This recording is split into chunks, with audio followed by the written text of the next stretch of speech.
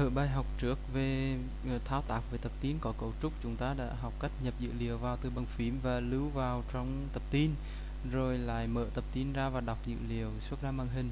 Ở bài này chúng ta mặc nhiên mặc định với nhau rằng là chúng ta đã có một cái tập tin có cấu trúc kiểu uh, product như các bạn đã uh, thấy trên màn hình và nó hoàn toàn tương tự với cái cấu trúc của cái bài trước. Và như vậy chúng ta công việc của chúng ta chỉ là đọc dữ liệu từ tập tin đó. Thay vì đọc trực tiếp vào một biển rồi in ra màn hình thì chúng ta sẽ đọc vào một mảng đồng để chúng ta có thể tiến hành các công việc như là sắp xếp tìm kiếm à, vân vân. Thì như vậy chúng ta để mà đọc về toàn bộ cái giá trị của một tập tin vào trong mảng đồng thì chúng ta làm như thế nào? Thì việc đầu tiên đương nhiên chúng ta phải có một cái biển kiểu tập tin. À, à, có cấu trúc như trên chúng ta sẽ khai báo là biển tập tin F có kiểu là F product và một cái mảng đồng A 2 chấm array of và đương nhiên mảng đồng ở đây phải có kiểu là product và điều không thể thiếu là có một con trỏ chạy bây giờ chúng ta muốn đọc tập tin thì chúng ta trước tiên phải mở tập tin.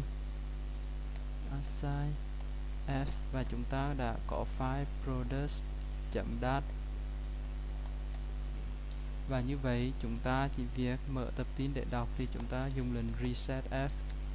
Và việc đầu tiên mà chúng ta cần làm sau khi mở tập tin đó là tạo một cái mạng đồng có uh, chiều dài bằng chính cái uh, số phân tử uh, lưu trong tập tin.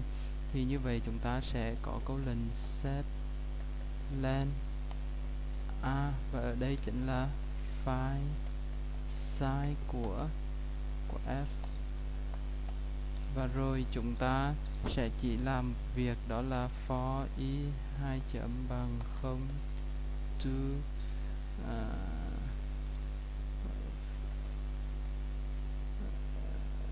chúng ta không cần đi từ không mà sẽ là đi uh, lâu của a. Đi cho tới à, uh, 2 của a. Và làm việc là đọc vào ric f. Ai vì AI là một cái phân tử có biến kiểu product cho nên chúng ta đọc thẳng vào trong AI là hoàn toàn phù hợp với uh, cái uh, tập tin có cấu trúc này và sau đó chúng ta sẽ xuất dữ liệu ra màn hình.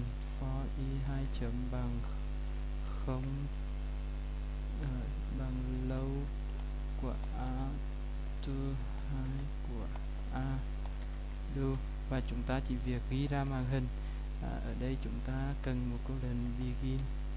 Và chúng ta sẽ ghi ra màn hình là write write line ai chấm à, tên hàng vậy